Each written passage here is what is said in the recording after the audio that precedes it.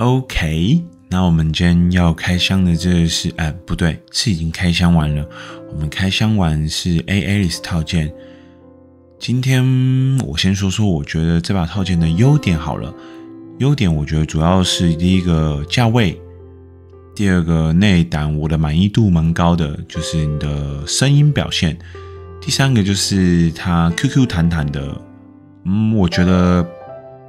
可以让大部分以前可能用 Top 或者是一般那种 Pro Gasket 会有蛮大的这个区别的。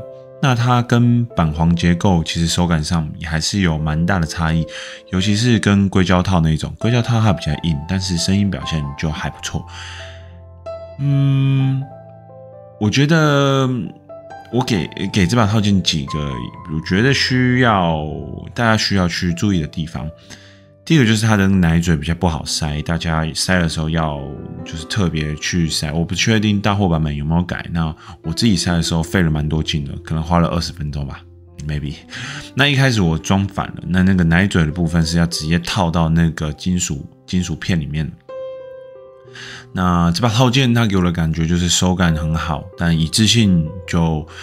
一致性啊，主观来说就一致性，我觉得没有一致性可言。那为什么？其实很多 Gaskey 套件，它其实也不是主打一致性，是主打它的手感 Q 弹这种新颖的感觉。这把套件这个价格，我相信很多人是非常心动的。那我给的分数，用价格来衡量的话，也是非常高。我也非常建议大家可以去购买这把套件。这把套件主要，我觉得最大的功能是让你有折腾的感觉。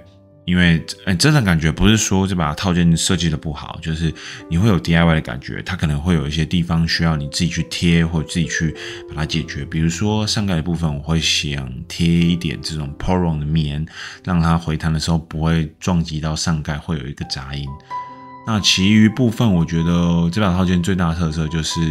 用便宜的价格让你体验到这种 Spring 的手感，配列的部分也是很特别，我是完全没办法适应。那我是很喜欢这个内胆带给我这种超级的回馈感，QQ 弹弹的感觉，推荐给大家。